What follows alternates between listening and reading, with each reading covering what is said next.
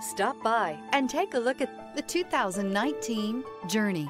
Dodge Journey combines the practicality of an SUV with the comfort of a car, all while boasting a style all its own. The Journey's optional third row seat, along with innovative features like a chilled beverage cooler and in-floor storage bins, make it a good and affordable alternative to a traditional minivan. This vehicle has less than 60,000 miles. Here are some of this vehicle's great options. Brake assist, remote keyless entry, fog lights, four-wheel disc brakes, speed control, electronic stability control, traction control, rear window defroster, rear window wiper. Is love at first sight really possible? Let us know when you stop in.